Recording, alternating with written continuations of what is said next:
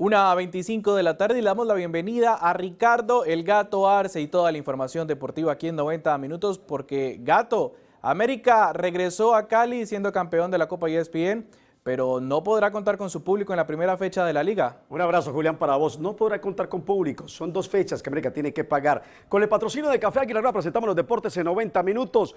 El jugador Cristian Arrieta, lateral derecho, ya se coloca a órdenes de Alessandre Guimaraes. América sigue buscando un 9 y la primera fecha es a puerta cerrada.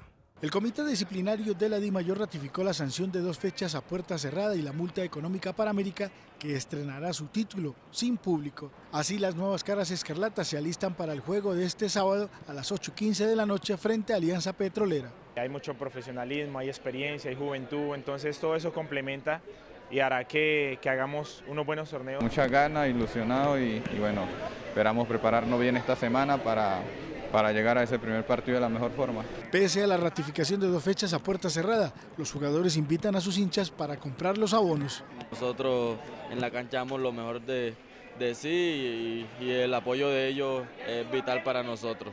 América confirmó al lateral Cristian Arrieta, quien llega del Envigado, como su novena contratación para la Liga y Copa Libertadores.